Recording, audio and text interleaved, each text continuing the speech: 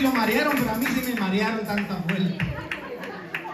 Ahora le pido a los adultos que así sentaditos vayan conmigo a la Biblia. Capítulo 6 del libro de Josué. Capítulo 6, libro de Jericó.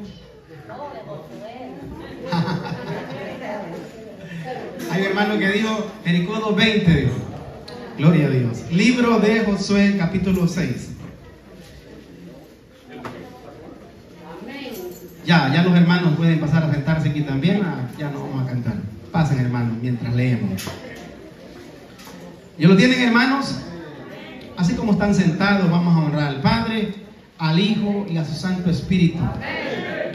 Ahora Jericó estaba cerrada, bien cerrada, a causa de los hijos de Israel. Nadie entraba ni salía. Jehová dijo a Josué, mira, yo he entregado en tu mano a Jericó, a su rey, con sus varones de guerra. Rodearéis pues la ciudad todos los hombres de guerra yendo alrededor de la ciudad una vez y esto haréis durante seis días. Vámonos al versículo 10. Y Josué mandó al pueblo diciendo, vosotros no gritaréis, ni se oirá vuestra voz, ni saldrá palabra de vuestra boca hasta que yo os diga gritar, entonces gritaréis. El 11. Así que él hizo que el arca de Jehová diera una vuelta alrededor de la ciudad y volvieron luego al campamento y ahí pasaron la noche. Gloria a Dios, hasta ahí. El tema que yo traigo, hermanos, eh, porque vamos a terminar un poco antes, voy a darlo así rápidamente, creyendo con paciencia y obediencia a la voluntad de Dios. Creyendo con paciencia y obediencia a la voluntad de Dios. Siempre le hemos dicho, hermanos, nosotros los seres humanos somos bien pacientes, bien conformes cuando nos dan algo, ¿verdad? Los seres humanos nos identificamos por ser bien pacientes. Bueno, usted yo le puedo decir, no todos somos pacientes, algunos somos impacientes, somos bastante eh, tremendos para, para esperar. Algunos se les dice, hermano, haga esto y hace lo contrario. Yo quiero decirle, hermanos, que de esta, de la enseñanza de la paciencia hemos hablado muchas veces y algunos no se nos queda. Estamos enfermos, hermano, y queremos estar sanos ya, ¿verdad? Porque somos impacientes. Y Dios nos dice, hijo mío, espera mi voluntad. Quiero decirle que la paciencia se define en algo bien sencillo. Calma o tranquilidad para esperar sin quejarse. Esa es la paciencia. ¿Cuántos nos quejamos cuando estamos pasando una dificultad, verdad? Gloria a Dios. Me podrá decir usted, hermano Alcide, mire, yo soy bien paciente. Yo lo conozco, hermano, sí, bien paciente usted. Yo también soy bien paciente. Oye, como cojo por allá, porque es cierto, nosotros los seres humanos, y en especial los adultos, somos más impacientes, ¿verdad? Amén, dice el hermano. No, también los niños a veces, quítele el teléfono al niño, déjelo una hora sin teléfono, a ver si no se va a poner impaciente y grita y hace cuánta cosa, porque somos impacientes por algo sencillo. Pero ahora me van a tener paciencia, hermano. Van a estar aquí al frente y si, como digo siempre, no quiere verme a mí, el reloj para allá, los micrófonos, pero vea para el frente. Los seres humanos tenemos esa característica que nos identifica que somos muchas veces impacientes hasta en las circunstancias de la vida.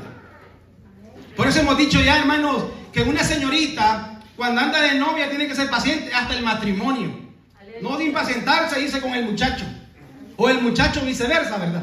Si el muchacho anda de novio, tiene que esperar hasta el matrimonio.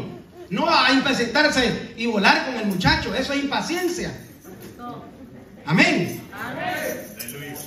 Ahora, también somos impacientes cuando, por ejemplo, estamos eh, allá en la entrada y el hermano no ha abierto la puerta, hermano, ¿y a abrir la puerta usted, hermano Edwin y hermano Alcide? Los que abren la puerta. Hermano, ya queremos. Somos impacientes el domingo como por ahí por las 6.40. ¿Sabe por qué? Porque ya el mensaje está terminando y queremos que hermano Isidro pase y termine rápido. Porque ya tenemos hambre y nos queremos ir. A veces somos así, hermano, impacientes.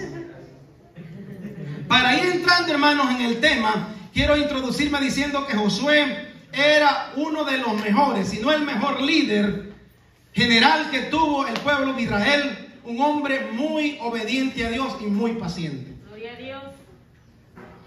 Dice la palabra del Señor que para Josué no hubo ningún reproche de parte de Dios ni de su pueblo. Una de las características de Josué es que él no era impaciente. Le aseguro que si le dan ese cargo al CIDE Quintero, solo da dos vueltas si es posible. Y se sienta y dice, no, yo no, yo no voy a dar las siete vueltas. Porque eso es, hermano, yo me, yo me mareé. Y algo más que quiero mencionar aquí, hermano, es que los, los, los sacerdotes iban con una bocina de cuerno de carnero que hacía un escándalo tremendo. Imagínense los israelitas dando vueltas alrededor, hermano. Y no fueron siete como dice aquí, aquí fueron al final, fueron trece vueltas, porque un día, el primer día dieron una vuelta. Dice la palabra en el versículo 10 que se fueron y acamparon. Gloria a Dios. Pero para ir, hermanos, que ustedes me entiendan, voy a hacer una recapitulación del capítulo 5, algo de que yo quería eh, decirles. En el capítulo 5, para que entendamos de qué estamos hablando, Dios manda al pueblo de Israel y a su líder Josué a que circuncide al pueblo por segunda vez. Y usted me dirá, ¿y por qué lo quería circuncidar? Es que todo el pueblo viejo que había salido de Egipto había muerto. Solo había quedado Josué y Caleb. Ellos dos nada más de los viejitos habían quedado. Y toda la generación que había nacido en el desierto durante los 40 años no había sido circuncidado. Y Jehová le manda a Josué y le dice, circuncídame al pueblo. Y cuando le hago así, usted me entiende lo que significa eso. Cortar. Otro mandamiento que se le da al pueblo de Israel es, gloria a Dios, pero en ahí vemos obediencia en su líder, hermano. Josué hace lo que se le manda. Otra característica de Josué es que se le da otra orden. Y le dice, ya no van a comer más maná. Fue el último día cuando acamparon en este lugar. Usted lo puede leer en su casa detenidamente. El capítulo 5 dice la palabra del Señor que nunca más volvieron a comer maná. Hasta ahí cesó el maná porque ellos comenzaron a disfrutar de la tierra prometida. Y apenas estaban entrando, pasando el río, estaban apenas. También en el capítulo 5 encontramos que Josué tiene un encuentro con un príncipe de Jehová. Y ahí usted va, va a leerlo también, que Jehová le hace una pregunta, este, Moisés, eh, perdón, Josué, le hace una pregunta y le dice a aquel hombre, ¿eres de los nuestros o de nuestros enemigos? Y el, el príncipe de, de Jehová le dice, no, yo no soy ni de los tuyos ni de aquellos, soy del reino de Dios que traigo un mensaje para ti.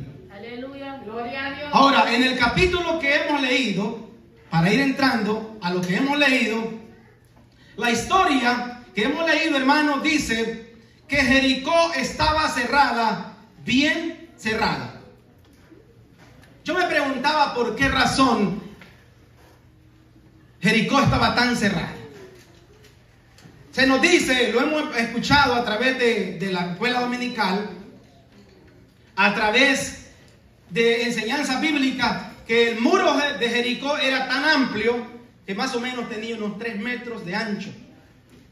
Y de alto era como dicen por ahí, como de 5 metros. Era alto. Para destruir este muro, para cruzar este muro se ocupaba una escalera. Y ellos no llevaban escalera. Ese muro estaba bien cerrado. Nadie entraba, dice la palabra del Señor, ni podía salir de Jericó. Pero antes, en, el capítulo 4, entran dos, que no se dieron cuenta, dos espías. Gloria a Dios. ¿Se imagina usted, hermanos, por qué razón estaba esto cerrado, tan cerrado? Yo le pregunto a alguien, esa es una enseñanza, puede participar. ¿Por qué estaría tan cerrado, hermana Celina? Le pregunto a usted. ¿Por qué? ¿Por qué razón estaba tan cerrada esta ciudad? Para que no pudieran. Se dice que este muro, hermanos, estaba alrededor de Jericó. Completamente la ciudad de Jericó estaba sellada por un muro que protegía la ciudad. Nadie entraba ni salía. Pero algo más que que pasaba acá es que ellos tenían un miedo terrible que les había caído, porque habían escuchado que el pueblo que venía acercándose era un pueblo que tenía un Dios grande como el nuestro, hermano. Este pueblo de Jericó había escuchado que Moisés abrió el rojo, el mar rojo. Ahora, Jericó había escuchado que cerquita de ellos les estaba viendo el río Jordán. ¿Cómo no va a haber pánico, hermano? ¿Cómo no va a haber miedo de un pueblo que está escuchando que tiene un Dios tan grande, tan poderoso como el Dios de Israel?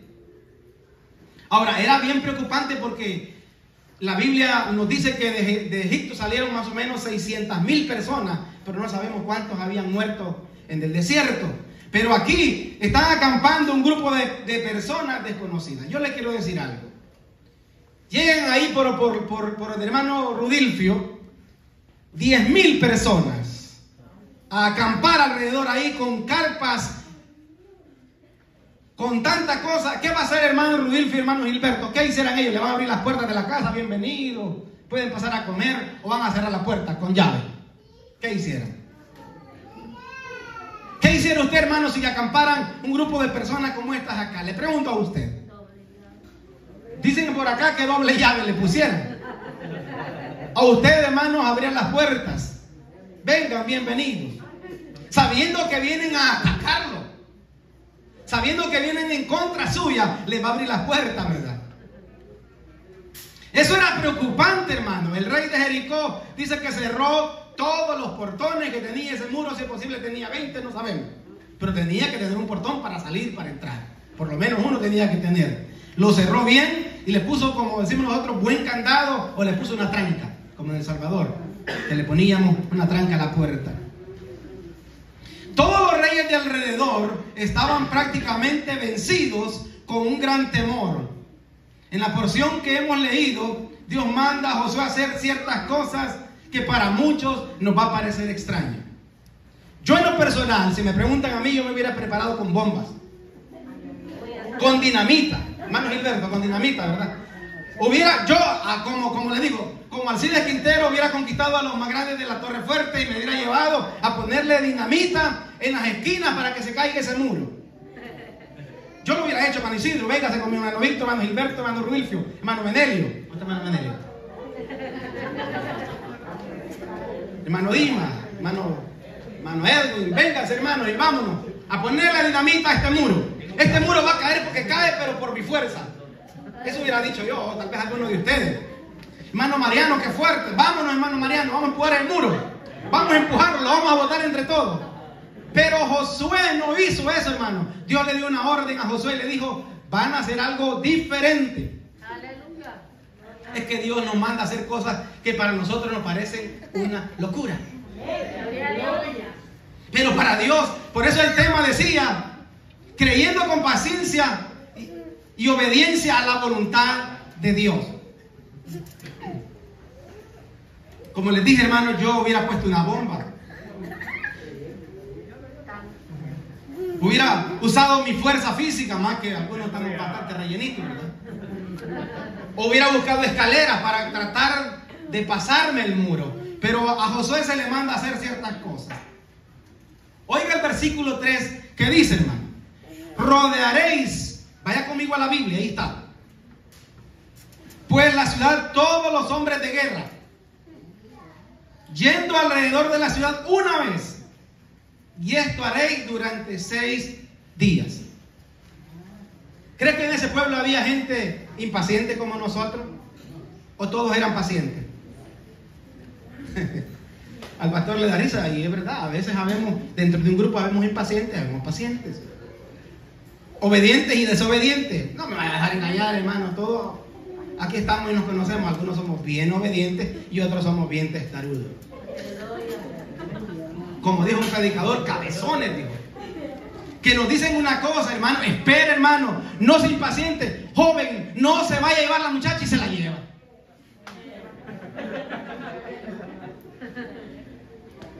Espere a casarse. No, es que mire, hermano, y pienso que esa es la correcta. Usted está pensando, pero Dios le está diciendo que no es esa la elegida, no es ese. Esto haréis durante seis días. No fue uno, fueron seis largos días. ¿Cuántos años está esperando usted la respuesta de un- una confirmación de una sanidad? Caso migratorio. Aquí hay hermanos que tienen años de estar pidiendo, o tenemos años de estar pidiendo que nos salgan los documentos para poder viajar legalmente a nuestro país y poder. Pero Dios lo tiene todo en su orden, hermano. Gloria a Dios. ¿Se ha preguntado usted?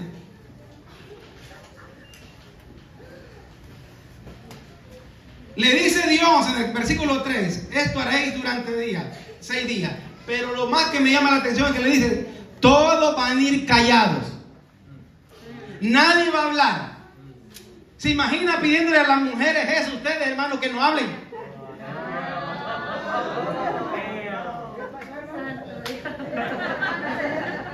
Ya ven, todas las mujeres reaccionaron, ya ven.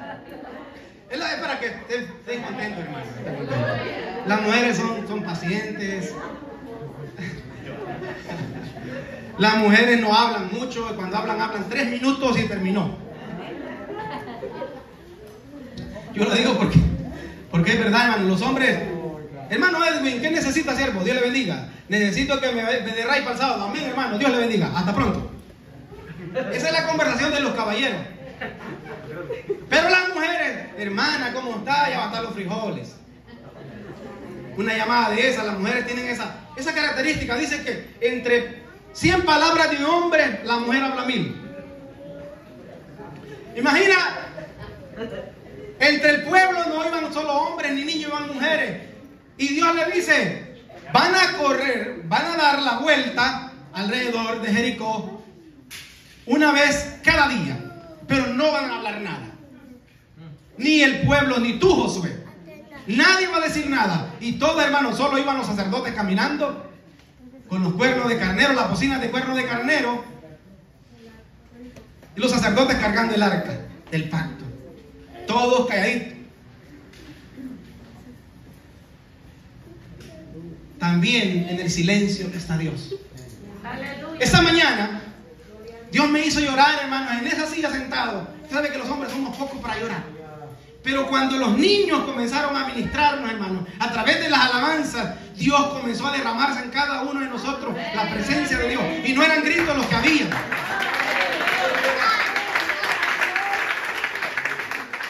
Todos los niños cantaron con una unción. Amén. Todos nos ministraron. En el silencio también está Dios. Y Dios le pide a Josué, Josué, como líder te lo estoy pidiendo, Josué. No vayan a decir nada, espera en lo que yo te estoy mandando a hacer. Y Josué, muy obediente, hace caso a lo que se le está pidiendo. Dieron seis vueltas. Siete sacerdotes llevando la bocina de cuerno de carnero. Y cuando toquen prolongadamente, prolongadamente dice el cuerno de carnero, así que oigáis el sonido de la bocina, todo el pueblo gritará. Eso es para que el muro cayera. En el versículo 10, Dios nos está man- manda al pueblo. Vosotros no gritaréis, ni se oirá vuestra voz, ni saldrá palabra de vuestra boca hasta el día que yo os diga. Gritad entonces, gritaréis. El versículo 11. Así que el arca de Jehová dieron una vuelta alrededor de la ciudad, luego acamparon y durmieron y pasaron ahí la noche. ¿Cómo piensa usted que el muro cayó? Le pregunta a usted. Algunos analistas estaban diciendo, estaba leyendo esto, que el muro no se cayó como un terremoto con escombro. Algunos dicen, analistas dicen que cayó como una rampa para que todo el pueblo pasara. Tiene lógica, ¿verdad? No es que esté en la Biblia, no está diciendo el manocillo está enseñando que en la Biblia está eso. No diga eso. Analistas dicen que cayó como una rampa, porque Dios le dice, van a pasar derechos, y lo dice la Biblia, derechos todos, y todos van a pasar. Ahora se imaginen un poco de escombro. ¿Cómo iban a cruzar, verdad? Pero ahí iban niños, mujeres embarazadas, iban viejitas, iban viejitos, y tenían que pasar de alguna forma al otro lado. Pero le pregunto a usted, ¿cómo se imagina usted que cayó ese muro? Dinosaur. ¿Cómo? Dinosaur. Si es un hoyo y se tragó el, dice el hermano. Pero ahí vivía la muchacha. Hermano Gilberto. Se han encontrado evidencias arqueológicas que cayeron hacia afuera. Hacia afuera, ahí viene lo que les quiero decir, como una rampa, hacia afuera. ¿Por qué razón? Ah, esa- esto vamos a usar como una escalera, ¿verdad? Pero la rampa es así. Y para caminar sobre ella no tiene que haber nada de estorbo. Llevaban vacas, quizás, ¿verdad? Llevaban vacas. Camellos. Y tendrían de alguna forma cruzarlo. Digamos como esto, como el, el estilo de este púlpito. Ese estilo. No tan alto para que pudieran pasar. Eso estaba leyendo yo que los analistas dicen que cayó para, para afuera para que el pueblo de Israel pudiera pasar. Le pregunto a usted, ¿fueron los gritos, hermana Evelix, los que votaron este muro? Maestro de escuela dominical, hermana Wilnelia, hermana Morena no está. ¿Fueron los gritos que votaron esto, pastor? Pastor. ¿Fueron los gritos? Pregunto yo. Fue la obediencia, hermano al Dios Todopoderoso que le dijo, hijo mío, Josué, yo voy a botar esos muros, pero ustedes van a ser obedientes. Como les decía al principio, hermano, a mí me incomodó. Físicamente me marearon los niños, no incomodarme de, de enojarme, sino que de incomodarme de me marearon.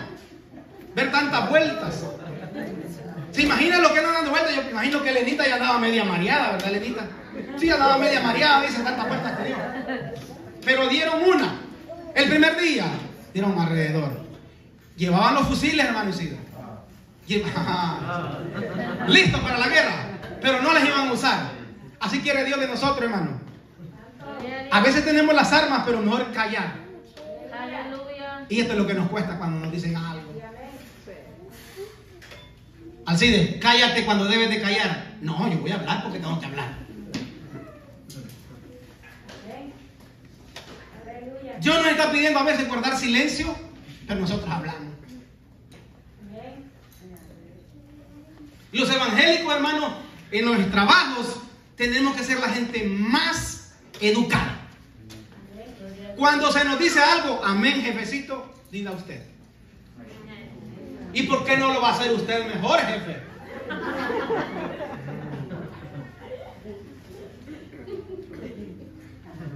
Los cristianos tenemos que ser la gente más obediente en el trabajo. Digo, tenemos. ¿Por qué digo tenemos que ser, hermanos? Porque a veces suele suceder, y se lo digo en voz baja, porque no somos así. Gloria a Dios. Dios nos está hablando, ¿verdad? Vosotros no gritaréis hasta que se os diga. Lo más impresionante, hermano, se dice que ni una bomba de las más fuertes de hoy, de este tiempo, tenía la capacidad de botar ese muro. Le expliqué yo, no, yo esto es lo que leí, no está en la Biblia. Aclaro, no está en la Biblia. Lo que leí, leí para traer este estudio. Ese muro tenía más o menos 3 metros. Alguien que sepa de medidas y me corrige. Como de aquí, como de aquí, 3 metros de ancho. Podían caber uno o dos carros o dos carretas, ¿verdad? Pero de alto tenía 5 metros, más alto que ahí. 3 metros puede tener esa pared, más alto. No era, hermano, la fuerza física que iba a botar ese muro. Hermano Marvin, le digo yo, hermano Marvin, vaya a ayudarme a botarlo a empujones.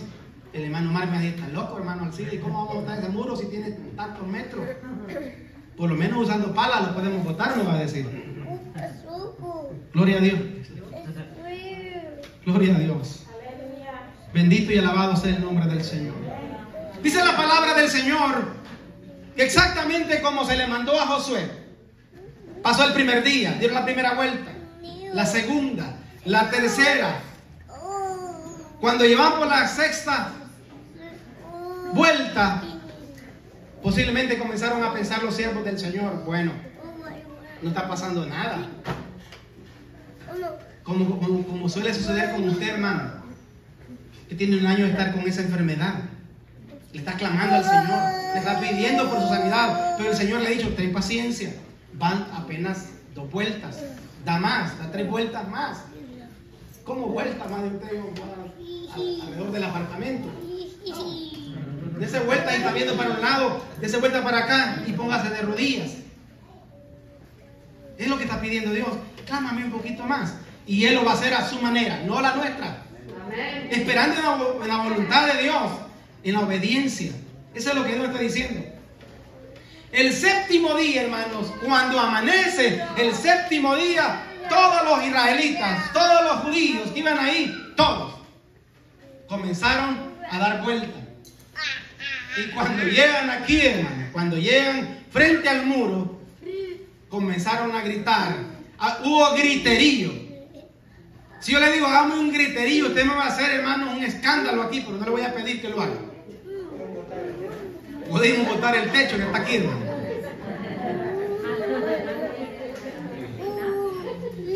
Pero no era cualquier griterío, hermano. Era en obediencia a Jehová. Porque ahora en día dice un grito para Jehová. No se sabe que es un grito para Jehová, un gritito para Jehová, no se sabe qué es eso. Pero Dios nos está pidiendo a nosotros ser obedientes, pacientes. Que lo que Dios nos está mandando a hacer es lo que Él quiere que hagamos. A mantenerse en la fe. Dice la palabra del Señor que ellos dieron la vuelta número 7. Y ahí ocurre algo extraordinario. Los muros de Jericó cayeron. Y dice la palabra del Señor también que comenzaron a caminar todos los israelitas, uno por uno, cruzaron el muro al otro lado. Y comenzaron a destruir la ciudad, a quemarla. Pero se les da otra, otra, otra ordenanza ahí. Y ahí donde quiero detenerme un poquito. No lo leí, pero lo quería pronunciar esto. Les dice, no vayan a tocar Nada para ustedes, no se vaya a quedar nada. Todo lo que van a consagrar, la plata, el oro, los utensilios que están ahí, para Jehová, para mí. Aquí me quiero detener. Dele al Señor lo que es del Señor, hermano. No se lo quede usted, ladrón. ¿Me gustó? Te voy a cerrar la Biblia. Y aquí quiero decirles, hermano, y usted pensaba que era solo para niños, para usted también, hermano. Mire, si a un niño se le enseña desde chiquitito a diezmar, esa es la palabra que quiero usar, no. A algunos no les gusta cuando se menciona esto. A diezmar. Enséñele a su niño desde pequeñito y ese niño cuando llegue a los 20 años no le va a doler si ganó 10 mil dólares, dar mil para la obra. Si ganó 7 mil son 700 dólares, hermano, para la obra de Dios. Pero algunos lo que hacen, lo parten. Bueno, como el tesorero, hermano Gilberto no le va a contar a nadie, ni hermano Mauricio. Créame, créame, hermano, que uno se pone a reír cuando ve que, algunos hermanos piensan engañar a, a los siervos de Dios, a quien le engañan a ellos mismos, hermano, pero a Dios no le engañan. Si usted es fiel en lo poco, en va a ser en lo mucho, hermano. Aquí hay hermanos que ganan mucho dinero, pero no les duele dar lo que le corresponde, el 10% de sus ganancias al Señor. Dios le dice a Israel, hijo mío, a todo Israel, a todo el pueblo le dice, no vayan a tocar, porque eso no es suyo, es mío lo que van a consagrar. Lo que van a encontrar no va a ser nada para ustedes. Lo van a consagrar para mí, pero hubo un ladrón ahí. Dos. Y sabe las consecuencias para los ladrones, ¿verdad? ¿Ah? Dígalo, dispere. Si usted puede ser santo en la ropa, puede ser santo con su lengua, puede ser santo con todo, pero si le está robando al Señor, usted no va a heredar el reino de los cielos. Esta gente se le había dado un mandato, van a entrar, van a poseer la tierra, todo va a ser suyo, espérense, todo va a ser suyo. Pero no vayan a tocar lo inmundo, lo anatema de Jericó, porque eso es mío, conságrenmelo a mí. ¿Y sabe qué? Acán y Coré tomaron cosas que no les pertenecían. Seamos obedientes, hermano. Si Dios nos está pidiendo algo, trabajemos de esa manera. No lo hagamos a nuestra manera. No lo hagamos como yo pienso, como yo creo, como dice la palabra del Señor tiene que ser. Y hasta aquí voy a llegar, hermanos, porque me pidieron que terminara un poco antes y así lo voy a hacer. Gloria a Dios. Amén. Aquí voy a cerrar yo. Ya, gloria a Dios. Pero la abuelita de todos los niños, la abuelita de todos los niños, estos son hermana Candy. Yo quiero